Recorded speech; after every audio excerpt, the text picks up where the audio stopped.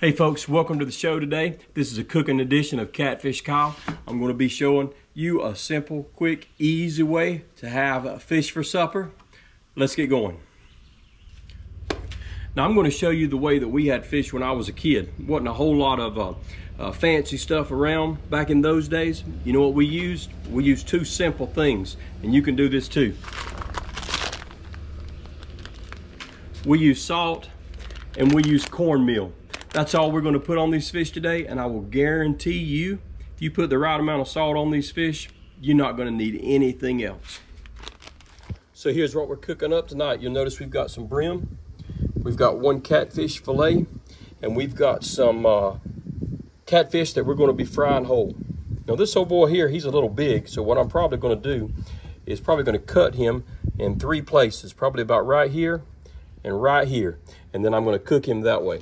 So so we're just gonna sprinkle some salt, kind of lightly on these fish on one side. A lot of this has to do with you. If you like a lot of salt, put a whole lot on them. If you don't like a whole lot, put just a little bit.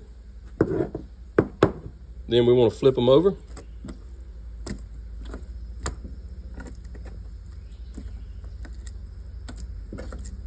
These are whole catfish.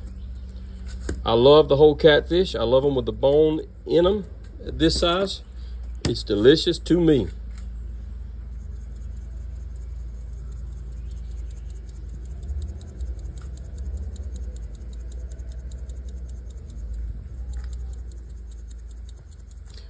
Now I want you to notice something. You see this fat on this filet right in here? You see all this fat? It's, it's kind of a yellow color. We're going to trim all of that off because the fat on a catfish is a little bit strong. So we're going to trim that off. Now, we're going to put some cornmeal in my batter box here. This comes from Bass Pro, but if you don't have one of these, you can just use a paper sack. That's what we always used when I was a kid.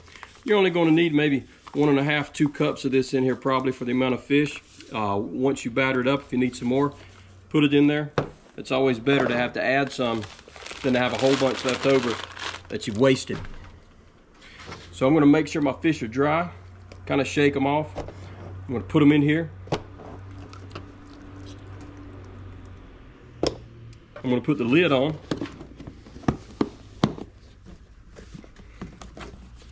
Make sure it is sealed good. And I'm gonna shake it. Shake it up and down.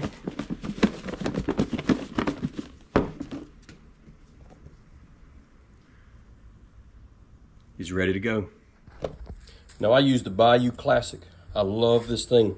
It's a four and a half gallon fryer. It's got two uh, baskets in it. Got my temperature gauge down here to let me know when it gets to about 350 degrees. I'm in my basement.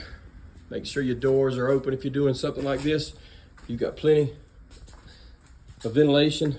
This is the exhaust. It'll come right out there. Let's light this thing up. We got the light our, grill, light our fryer. We're gonna turn our gas on right here. This here turns the gas on that goes to the uh, cooker. I'm gonna open it up a little bit.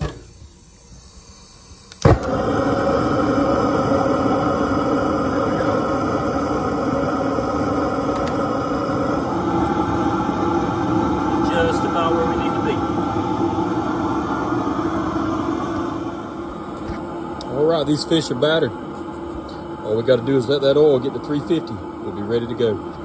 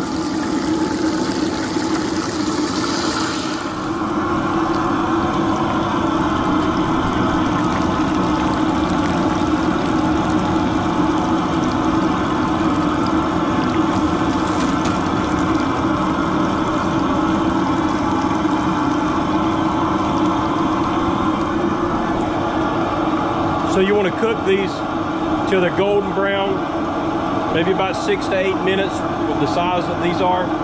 Usually you'll know when they're done because they'll start floating to the top.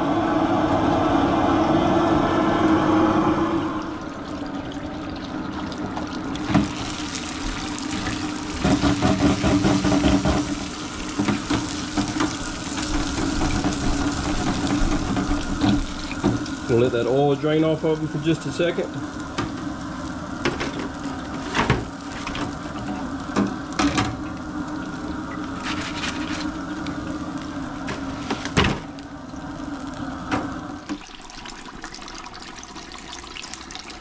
Oh, look at that, y'all. Doesn't that look good? I mean, that looks good. That's going to be some good eating, y'all.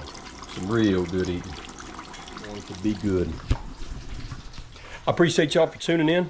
This is a short video, a cooking video, an easy video. I'm telling you, if you'll just cook your fish, if they're good fresh fish with salt and cornmeal and fry them, man, I'm telling you, it will be good. We're going to eat good tonight. Hey, hope y'all have a great day. This is Catfish Kyle. Till next time, I'll be seeing you.